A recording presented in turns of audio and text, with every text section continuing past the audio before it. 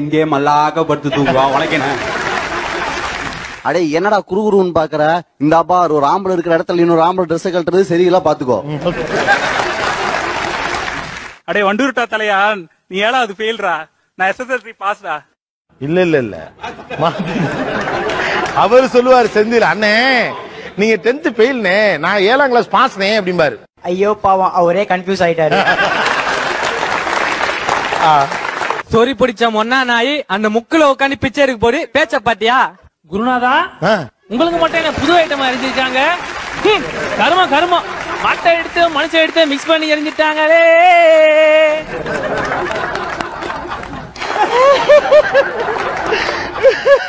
சொன்ன சொல் மாற மாட்டான் இந்த கோட்டை சாமி தலைகீழாத்தான் குதிக்க போகிறேன்.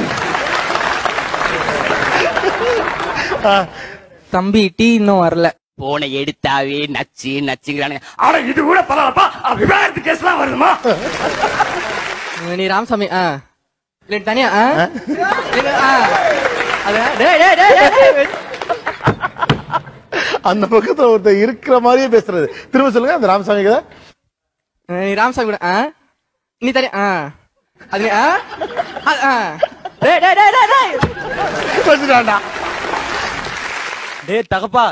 கேவலம் பிச்சைக்காரியோட சன்னு ஊட்டி கானூன்ல படிக்கிறான். உள்ளூர் நாட்டாமையோட பையன். நான் எங்கடா படிச்சேன்? தமிழ்நாட்டுல எவனுமே அப்பா வந்து சீல கூப்பிடவே முடியாது. ஹலோ உங்க கடையில அப்பள கட்ட காணோன்னு கத்தல. எங்க அப்பனை காணோன்னு கத்திக்கிட்டு இருக்கேன். என் மேல கை வச்சா எவனா இருந்தாலும் வெட்டுவேன். எவனா இருந்தாலும் வெட்டுவேன். எவனா இருந்தாலும் வெட்டுவேன். ஒரு இளைஞன் ஒரு இளைஞி கைய பிடிச்சு இழுக்கத்தான் செய்வான். அதெல்லாம் கண்டுக்கறப்படாது. இது வாலிப வயசு. இதுக்கு தான் ஊருக்குள்ள ஒரு ஆளினால் அழகு ராஜா வேணுங்கிறது. ஆ. ஏண்டி முப்பது ரூபா சம்பளத்தை வாங்கிட்டு வந்து கொடுத்துட்டு என்ன துணி துவையும்ப பாத்திரம் விளக்கும்ப கேவலம் அந்த சமயக்காரன் முன்னாடி என் கையை நீட்டுற. ஏண்டி நான் யார் தெரியுமா? நான்- யார் தெரியுமா?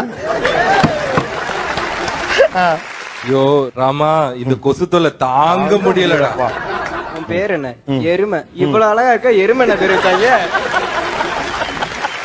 போங்க தம்பி. ஊருக்குள்ள கேட்டு பாருங்க. நாங்க அடி வாங்காத ஏரியாவே கிடையாது. எவ்வளவு அடிச்சாலும் கத்துனது கிடையாது ஓடுனது கிடையாது. ஹலோ நேத்து அடிக்க வர நீங்க வரவே இல்ல.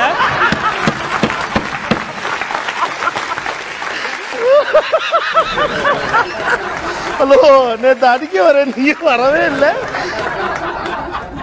ஏய் அங்க என்ன கருப்பர்கள் மாநாடா? கருப்பர்கள் மாநாடா? இதுல ஒரு விஷயம் பிசுங்கினாலும் நான் பொறுப்பு கிடையாது. இது இப்படியே மெயின்டைன் பண்ணனா கண்ணகி சிலை பக்கத்துல உனக்கு ஒரு சிலை வைப்பேன். தெரியுண்டா சிகப்பா ஒரு பிள்ளை உட்காரும் போது நீ என்ன பேசுவேன்னு தெரியும் எனக்கு. தெரியுண்டா தம்பி ஆண் சிங்கம் பாதுகாப்புல பெண் சிங்கம் குளிச்சிட்டு இருக்கு. அப்படியே போய்கிட்டே இருக்கணும் புரியுதா? எந்நேரமா என் அண்ணன் எப்படி எமோஷனல் ஆகும் உனக்கு தெரியாது. ஏய் கன்னிக்காலியாதப்பா அவனுக்கு ஒரு மோர் கோர் அவனுக்கு. என்னைக்காவது ஒரு நாள் ரோட்ல போவல அப்ப ஆட்டோ விட்டு ஏத்துறேன். ஏய் ஆட்டோ விட்டு ஏத்துறேன். அரசியல் இதெல்லாம் சாதாரணமாப்பா. போங்க தம்பி போய் புள்ள குட்டிகளை படிக்க வைங்க. நாராயணா இந்த கொசு தொலை தாங்க முடியல அடிச்சு விரட்டுக்கிறா. நான் அடிக்கும் போது அவர் பேசவே மாட்டாரா? அவர் பேசவே மாட்டாரு. சைலண்டாவே அப்படியே படுத்திருப்பாரு. ஏன் தெரியுமா அடிக்கிற? அடிக்கிற கைதான் அணைக்கும். அடிக்கிற கைதான் அணைக்கும். ஒரு பொய்யாவது சொல் கண்ணே. கண்ணே உன் காதல நான் தான் என்று என்று அந்த சொல்லில். ஐயோ ராமா! சாரு எவ்வளவு பேசினாலும் அசராம நிப்பார் பாரு. அங்க ஒரு விஷயம் தெரியுதுடா எனக்கு. அண்ணன் தாங்க மாட்டீங்க. ஆளி காட்டுமா? ஆளி காட்டுமா? இது சைதாப்பேட்டை நம்பர்ரா? எனக்கு ரத்த கலர்னு இன்னொரு பேர் இருக்கு. ஆளும் மண்டையும் பாரு கல்லு பானையாட்ட. ஏ கல்லு பானை மண்டையா? என்ன மண்டையா? கல்லு பானை மண்டையா? கல்லு பானை மண்டையா? ஆ. What is this you stupid and nonsense நானெல்லாம் இங்கிலீஷ் பேசினேன்னு வச்சுக்க. தாங்க மாட்டீங்க ஏய் சோனமுத்தா ஒருத்தன் ஒண்ணு சொல்லும் போது சைலண்டா போயிடணும் அண்ணன் போனா இல்லையா? இல்லனா ஒரு எட்டு ஒரு எட்டு போயிருப்பாரு அவரு. தெரிஞ்சிக்க. Fine thank you nice thank you thank you on spot ஒன்றும் பிளான் கிடையாது. டக்கு டக்கு டக்குன்னு பண்ணாங்க.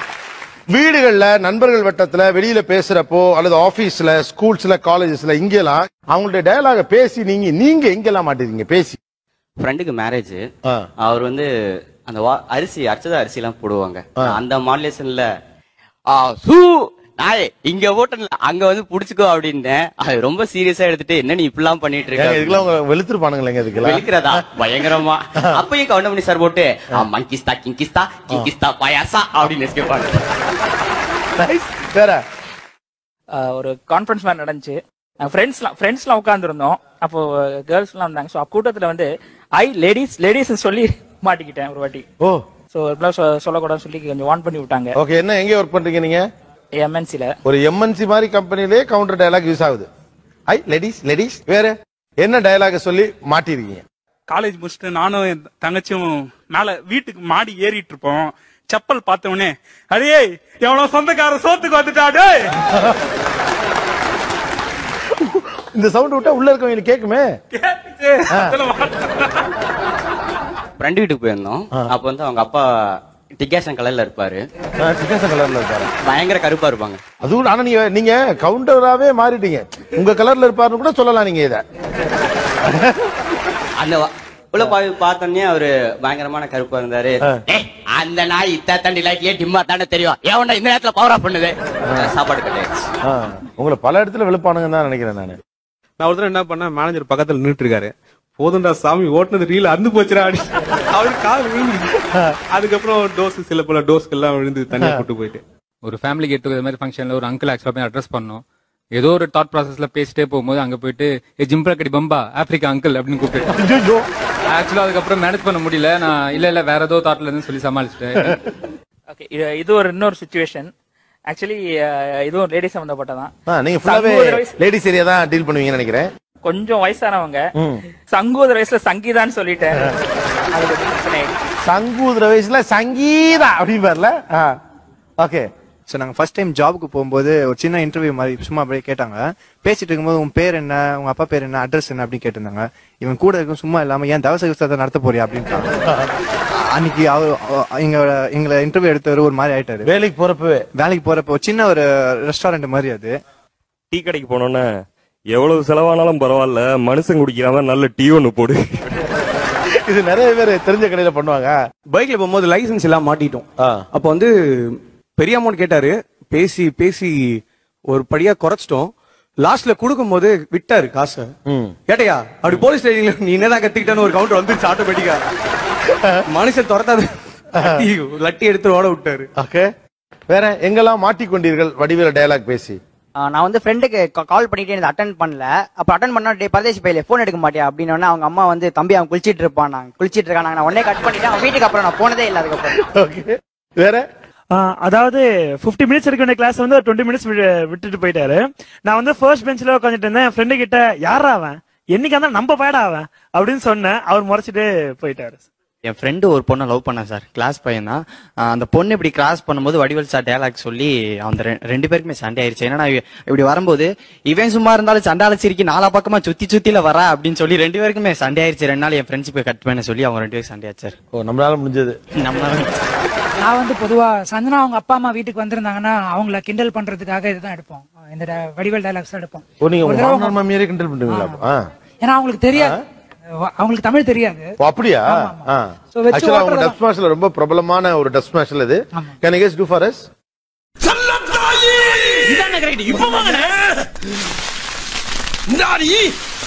கூப்பிடுறது காது கேட்கல உனக்கு. ஏன் கேக்கல செல்லத்தாயும் கேட்டுச்சு குருவமான்னு சொன்னீங்களே அதுவும் கேட்டுச்சு. அத பத்தி அத பத்தி பேசாத. நான் கேட்கிறேன் பதில் சொல்லு. நான் யாரு? ம், என் பிள்ளைங்களுக்கு அப்பன். உனக்கு யாரு? புருஷன். உங்க அப்பனுக்கு யாரு? மட்டமான மருமகன். மூத்த மருமகன் என்ன? தெரியுதா? உன் பிள்ளைகளுக்கு அப்பன் உனக்கு புருஷன் உங்க அப்பனுக்கு மருமகன். இப்படி மூணு போஸ்டிங்க முழுசா வச்சுக்கிட்டு நாயா அலைகிறேன் இத புதுசா ரைஸ் மில்லுக்கு பேர் வைக்கிறதுக்கு டிஸ்கஷன் நடத்துறீங்க. டிஸ்கஷன் அதுக்கு என்னப்பா? என்ன போட்டு நான் அடப்பு தெரிச்சு போவோம் அடப்பு.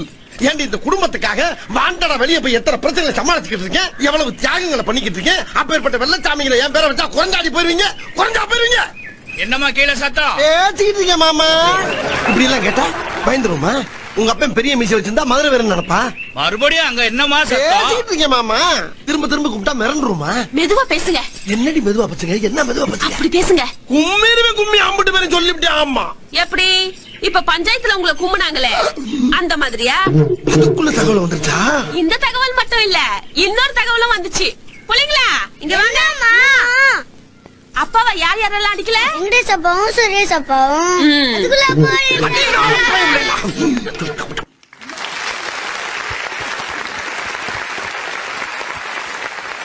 ஆக்சுவலா எனக்கு நீங்க எந்த ஊரு? நான் ஆக்சுவலி பிறந்து வளர்ந்து பெங்களூர். நான் கன்னடா அண்ட் தெலுங்கு பேசுவேன் வீட்ல. சோ கல்யாணம்க்கு அப்புறம் தான் ஐ லேர்ன் தமிழ். கத்துக்கிட்டேன். அப்ப தமிழ் எனக்கு சுத்தமா தமிழ் பழக்கமே கிடையாது. கல்யாணம்க்கு அப்புறம் தான் நான் தமிழ் கத்துக்கினேன். ஓ. நீங்க ஃபர்ஸ்ட் பண்ண டெஸ்ட் மேட்ச் ரெண்டு பேரும். பூஜா கரானா ஹை. பூஜா கரானா ஹை. பூஜா கரானா ஹை. நீங்க எப்பயில இருந்து வடிவேல் படம் எல்லாம் பாத்திருக்கீங்க நான் கல்யாணம் முன்னாடி கூட பாத்திருக்கேன் எனக்கு லாங்குவேஜ் புரியலன்னா கூட காமெடி கண்டிப்பா புரியுங்க. அது வடிவேல் காமெடியோட ஸ்பெஷாலிட்டின்னு சொல்லலாம். You don't have to know the language அந்த ஆக்ஷன் பார்த்தே புரிஞ்சுக்கலாம். வெல்கம் பேக் டு இந்தியாவின் number one masala brand Aachi masala வழங்கும் நீயா நானா பவர்ட் பை எஸ்விஎஸ் முக்கோணம் சன்னாயில் மற்றும் காமதேனு ஜுவல்லரி ஒரு பக்கம் கவுண்டமணி அவர்களுடைய ரசிகர்கள் இன்னொரு பக்கம் வடிவேல் அவர்களுடைய ரசிகர்கள். ஓகே ஒரு சீனை விவரிப்பதில் வித்தர் ஐ மீன் ஸ்பெஷல் யார் அப்படின்னு அப்ப பார்க்க போறேன். இந்த சைடுல இருந்தும் கூட வடிவேலுடைய ஏதோ ஒரு சீனை யாராவது விவரிக்கலாம். அதே மாதிரி இந்த சைடுல சேர்ந்து கூட கவுண்டமணியுடைய ஒரு சீனை யாராவது விவரிக்கலாம். நீங்க எவ்வளவு அழகா விவரிக்கிறீங்க அப்படின்னு பார்க்கணும். யா. ஆக்சுவலா அந்த டைலாக் வந்து என்னோட ஃபேவரட் டைலாக் அது பார்த்து பார்த்து எனக்கு மனப்பாடம் ஆயிடுச்சு அது மட்டும்.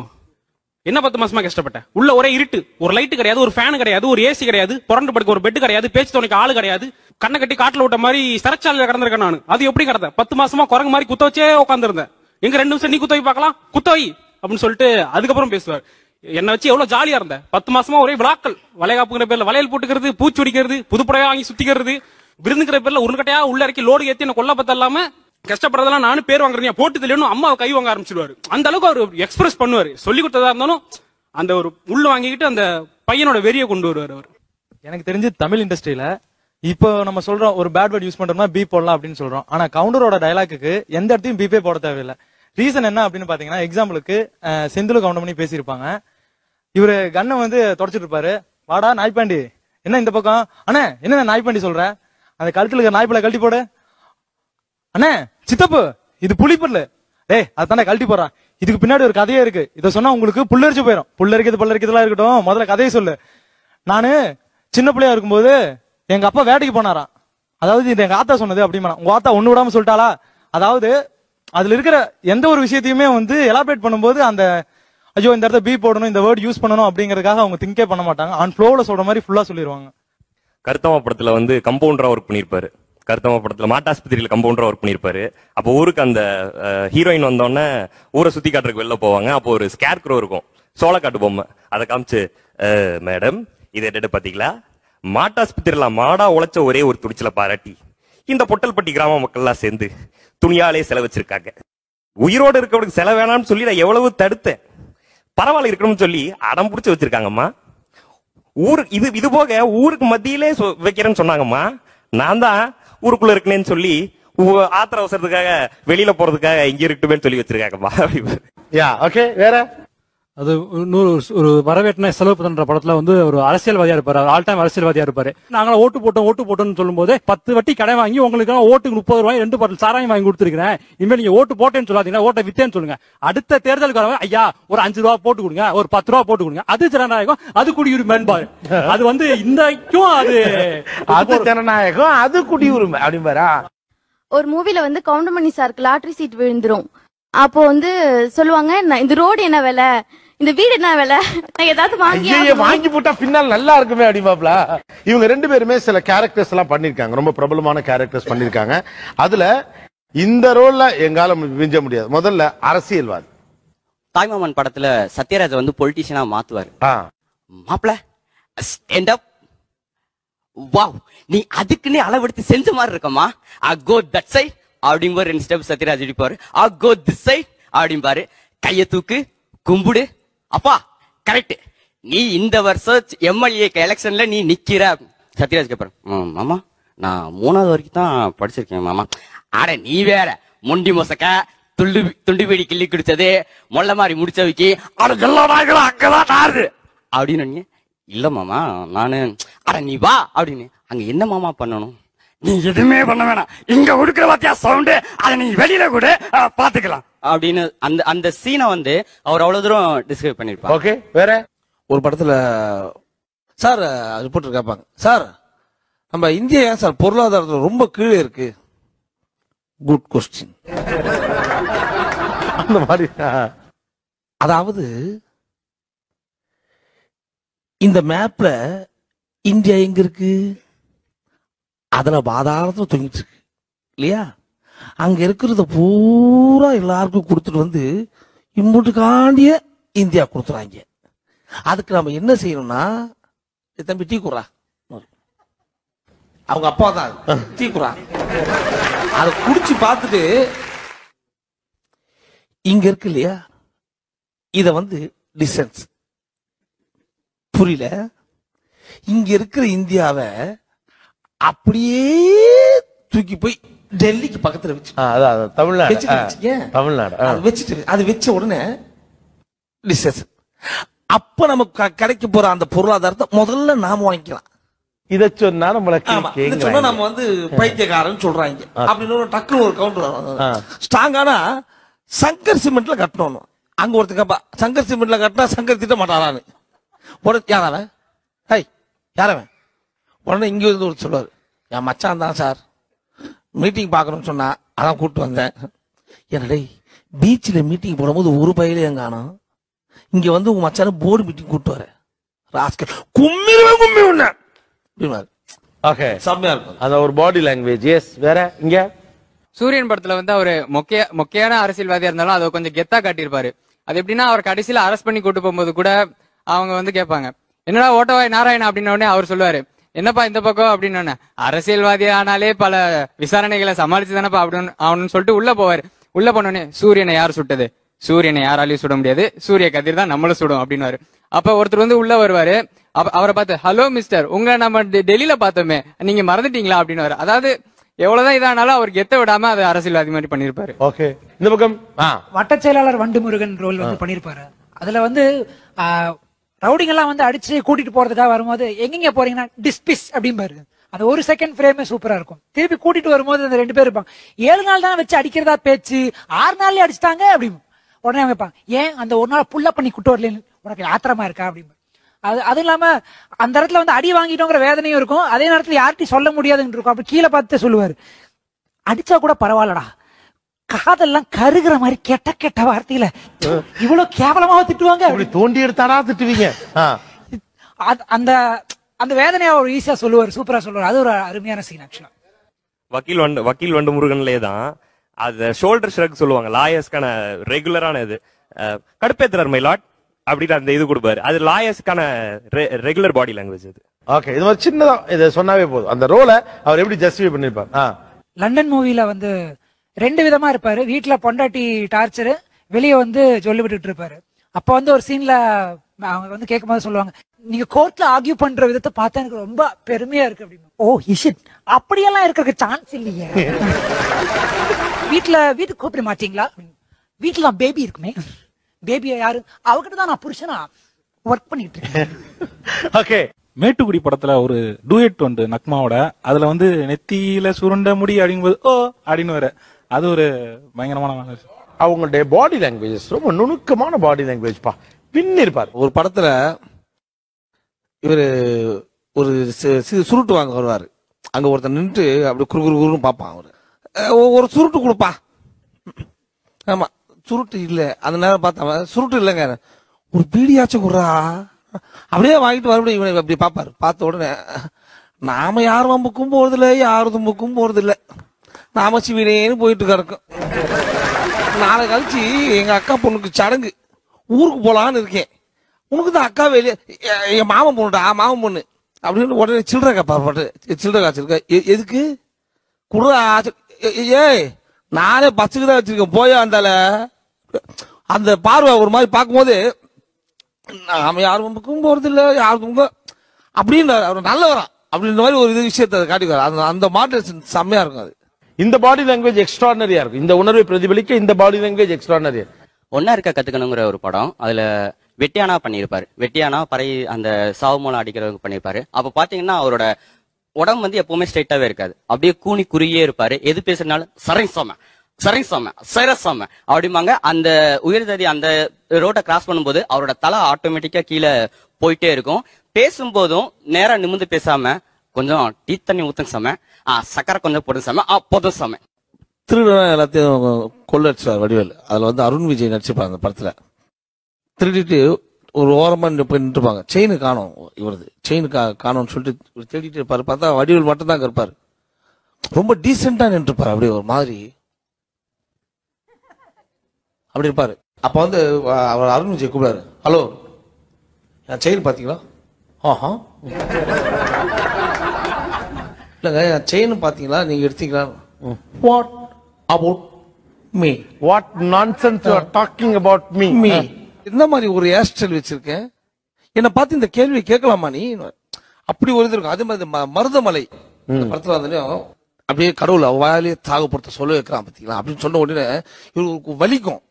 அப்ப அந்த கருப்புலயே சொல்லுவாப்புல ஆமாப்பா முருகன் எல்லார் வாழ்க்கையிலும் தார் மரம் விளாடுறான்பா ஆக்சுவலா அந்த பொண்ணை சொல்ல மாட்டாரு. இவரு தான் பிடிச்சி சொல்றாரு மறுபடியும் அங்க வந்து அமுகிறான். ஒருத்தன் அவனும் அதே இடத்துல வந்து அமுக்கிட்டு இருக்கான் அவன். அதுல வந்து அப்படியே அந்த சீரியஸ்னஸும் அந்த காமெடியும் கலந்துருக்கும் அது. வின்னர் படத்துல வந்து அவன் வந்து பேக போடுவான். அப்ப அம்மா அப்படின்னு ஒரு அடுத்து கட் பண்ணா அந்த பாடி வந்துரும். ஆட்டோமேட்டிக்கா வந்துரும். இதே வந்து இன்னொரு படத்துல பண்ணிருப்பாரு அந்த பாடி லாங்குவேஜா இருக்கும். இப்படி சோல்டர் அடி தூக்கிட்டு ஒரு துண்டு ஒன்று கட்டிருப்பாரு ஏண்டா ஊர்ல இருக்க பெரிய பெரிய ரவுடி எல்லாம் இங்க இருக்கும்போது அங்கே அவன்டா சண்டையா போட்டது அப்படின்னு அது முடிஞ்சதும் அவரை விட்டுட்டு போயிருப்பாங்க. அவரு தான் அங்க பயங்கரமா பில்டம் எல்லாம் கொடுத்திருப்பாரு. போயிட்டாருன்னு உடனேவே அப்பயும் அதை கேரி பண்ணுவாரு. ஏ குமராசா அப்படின்னு சொல்லி அந்த ரன்னிங்ல போவாரு. சோ இது மாதிரி நிறைய அவர் வந்து அந்த பால் லாங்குவேஜ் அழகா மெயின்டைன் பண்ணுவாரு. ஓகே வடிவேல் அவர்களோட வேட்டி கட்டுற ஸ்டைலே ஒரு தனி ஸ்டைல் அந்த நெஞ்சுக்கு கீழே ஜஸ்ட் கட்டிட்டு அப்படி நடந்து வரும்போது ஒரு படத்துல போலீஸ்காரர் பின்னாடி அடிப்பாரு. அவ- அந்த மாதிரி யார் நடந்து போனாலும் அடிக்கணும்னு தான் தோணும். அந்த ஒரு எகத்தாளம் இருக்கும் நடக்கும்போது. இன்னொரு யூனிக்னஸ் அவர்கிட்ட என்னன்னா ஒவ்வொரு இப்போ ஒரு- ஒரு ஒரு படம் நடிக்கும் போதும் ஒரு ஒரு கேரக்டர் வச்சுட்டு போயிடுறாரு. டைப் காஸ்ட்னு சொல்ற மாதிரி. அந்த கேரக்டர் பேர் சொல்லிட்டாலே தமிழ் சினி இண்டஸ்ட்ரியில அவர் தான் அப்படிங்கிறது தெரிஞ்சிடும் அதுக்கு தான் எக்ஸாம்பிள் வந்து கைப்புள்ள நாய் சேகர். கவுண்டமணி ஸ்பெஷல்ல ஒன்னு இருக்கு. இந்த மண்டேங்கிற வேர்டை எதோடையாவது சேர்த்து சேர்த்து சொல்லுவார். விதவிதமான மண்டேன்களை தமிழ்நாட்டில் அறிமுகப்படுத்துறது அவர் தான் பட்ருபி மண்டையா ஏ பட்ருபி மண்டையான்னு கூப்பிடுறாரு சார் ஸ்பிரிங் ரோல் மண்டியா ஸ்பிரிங் ரோல் மண்டையா ஆ. ஏய் வண்டுருட்டான் தலையா? ஆ வன்ருட்டான் தலையா. இது என்னடா? இங்க கொஞ்சம் பிளிச்சு இங்க கொஞ்சம் பிளிச்சு இங்க கொஞ்சம் பிளிச்சு. அடே தீச்சட்டி தலையா? தீச்சட்டி தலையா ஆ. டேய் கார்பெட் மண்டையா கார்பெட் மண்டையா ஆ. கீரிப்புள்ள தலையா? கீரிப்புள்ள தலையா ஏன்டா டப்ப தலையா வெல்கம் பேக் டு இந்தியாவின் number one masala brand Aachi masala வழங்கும் நீயா நானா பவர்ட் பை எஸ்விஎஸ் முக்கோணம் சன்னாயில் மற்றும் காமதேனு ஜுவல்லரி ஒரு பக்கம் கவுண்டமணி அவர்களுடைய ரசிகர்கள் இன்னொரு பக்கம் வடிவேல் அவர்களுடைய ரசிகர்கள். எந்த இடத்துல எல்லாம் வடிவேலு விஞ்சி நிக்கிறார் லேடிஸ் கிட்ட போறதுல லேடிஸ் கிட்ட போறது வடிவேல். அவர் அந்த வாய்ஸே அவர் ஃபுல்லா அந்த படத்துல ஃபுல்லா அந்த லேடிஸ் கிட்ட போட்டுருந்தாருன்னா அவர் சொந்த வாய்ஸ்லயே பண்ணிருப்பாரு அந்த இடத்துல அவர் அடிச்சுக்கவே முடியாது யாராலையும். இதுல வந்து பார்த்தோன்னா அந்த வாய்ஸ் வந்து ரொம்ப ஒரு அடி இதுல வரும். உயிரே! கொஞ்ச நேரம் நம்ம பேசினா கூட தொண்டை போயிடும் அவர் அதுல அதுல ரொம்ப பேசுறாரு ஆஹ் புலிகேசி படத்துல வந்து அந்த ஒரு மேட்சோ ரோல் பண்ணிருப்பாரு ஒரு ஆல்பா கேரக்டர் பண்ணிருப்பாரு. அந்த ஆல்பா கேரக்டர் பண்றதுக்கு வந்து அவர் எந்த விதமான பாடி பில்ட் பண்ணவும் தேவையில்ல. அவர் வந்து தொப்பையோட தான் இருந்திருப்பாரு. அதே முகத்தோட தான் இருந்திருப்பாரு. அவர் எந்த பில்டப்புமே இல்லாம வெறும் மடி நடிப்புலயும் வெறும் பாடி லாங்குவேஜ்லயுமே அந்த ஆல்பா ரோல் பண்ணியிருந்தாரு. அதை மக்கள் எல்லாருமே நம்ம ஏத்துக்கிட்டோம். எந்த இடத்துல எல்லாம் வடிவேலு விஞ்சி சிலதுல தனியா ஒரு பாட்டும் வந்து பாடுவாரு. சிலது காமெடியிலே சும்மா அதை தூக்கிட்டு போகும்போது அப்படியே ஒரு முணுமுணுக்கிற மாதிரி ஒரு பாட்டு. அந்த ஸ்வரம் வந்து என்ன கேட்டா வடிவேல் சார் தான் ஓகே. நிறைய வெரைட்டியான கேரக்டர்ஸ். ஆக்குபேஷன் சொல்லி இந்த எல்கேஜில சார்ட் ஒட்டுவாங்கல்ல. அது எல்லாத்தையுமே வடிவேலு எடுத்து நடிச்ச கேரக்டர் எடுத்து ஒட்டலாம் ஓ ஓ ஓகே. அதுல நிறைய கேரக்டர்ஸ் பண்ணிருப்பாரு அதே மாதிரி நம்ம ஜென்ரலா பேசுறது ஒரு சின்ன சின்ன ரியாக்ஷன் இருக்கும்ல. ஆஹா ஐயோ அது எல்லாத்தையுமே அவர் ஒரு வெரைட்டியா பண்ணிருக்காரு ஐயோ ஆகா அப்படின்னு வரல. அது நம்ம ஜென்ரலா பேசும்போதே நமக்கு வடிவேல் ஞாபகம் வந்துரும். நமக்கு அது நம்மள அறியாம அந்த டோன் வந்துரும். அந்த இடத்துல வடிவேல். அதே மாதிரி இந்த பதட்டமா இருக்கும்போது அந்த பாடி லாங்குவேஜ் ஒண்ணு வடிவேல் பண்ணிட்டே இருப்பாரு. இந்த காலர் எல்லா படத்தையும் பண்ணுவார். இந்த காலர் இப்படி பண்றது இந்த சட்டை இது பண்றது. அது நமக்கு இப்படி சட்டை இப்படி காலர் வச்சாலே வடிவேல் ஞாபகம் தான் வரும். ஓகே எஸ் எல்லாரும் காமெடியனா நிறைய பார்த்துட்டோம் அவரை. ஆனா ஒரு கேரக்டர் ஆர்டிஸ்டா கூட அந்த இடத்துல அவர் கை வெட்டுப்பட்டு பெட்ல படுத்திருப்பாரு. அப்ப அவர் கேட்பாரு கமல் சொல்லுவாரு டே எசக்கி மன்னிச்சிடுறா என்னாலதான் இப்படிலாம் ஆயிருச்சு அப்படின்னு சொல்லும்போது அதை ரெண்டு விதமா பார்க்கலாம். ஒன்னு அழுகாச்சா ஒரு டயலாக் இப்படி ஆரம்பிச்சுட்டு அவர் சொல்லுவாரு அட விடுங்கய்யா எங்கிட்ட ஏன் போய் மதி- மன்னிப்பு கேட்டு நானும் பின்னாடியே ஓடின வெட்டிடலான்னு மயக்கம் வந்துருச்சுங்கயா அப்படிம்பாரு. சொல்லி முடிச்சுட்டு அடுத்த சீன் அப்படியே பாத்தீங்கன்னா அவர் சொல்லுவாரு கையை வெட்டுப்பட்டு இப்படி படுத்துட்டு சொல்லு என்ன ஒரே ஒரு அளவு திங்கிற கையிலே கழுவணும் கழுவுற கையிலே திங்கினேன் அப்படிம்பாரு. அது அவ்வளவு ரொம்ப டச்சான சீன் அது ஆக்சுவலா எங்க கவுண்டமணிய டச்சே பண்ண முடியாது. ஸ்டீரியோ டைப்பை பிரேக் பண்ணாரு. லைக் ஒரு காமெடியன்னா அவங்கள வச்சுதான் காமெடி பண்ணணும். அவங்கள வந்து காமிக்கா தான் காட்டணுங்கிறத விட்டுட்டு நான் வந்து யார வேணாலும் கலாய்ப்பேன். தார்மரா கலாய்ப்பேன். யார் ஹீரோவா இருந்தாலும் சரி யாரா இருந்தாலும் சரி எல்லாரையும் கலாய்ப்பேன் அப்படின்னு சொல்லிட்டு அந்த ஸ்டீரியோ டைப்பை பிரேக் பண்ணது ஃபர்ஸ்ட் ஃபர்ஸ்ட் கவுண்டமணி சார் தான். இங்க டச்சே சார் இஸ் வெஸ்டர்லைட் ஆக்டர் என்ன கேட்டா. காரணம் என்னன்னா அவர் எத்தனையோ காமெடி பண்ணிருக்காங்க. I agree with that but Goundamani sir compare பண்ணும்போது வில்லனா வடிவேல ஒரு செகண்ட் கூட பார்க்க முடியாது. கவுண்டமணி சாரை பார்க்க முடியும். அவர் ஒரு ஒரு பார்வை பார்த்தா கூட என்ன? அதே மன்னன் படத்துல வந்து வேலை தெரியா வேலை செய்ய தெரியாத அளவுக்கு படிச்சிருக்கேன்ப்பா அப்படிம்பாரு. சொல்லிட்டு அதான் உள்ளன்னு சொல்றேன்லப்பா உடுப்பா. இந்த சீரியஸ்னஸுக்கும் அடுத்த டைலாக்குக்கும்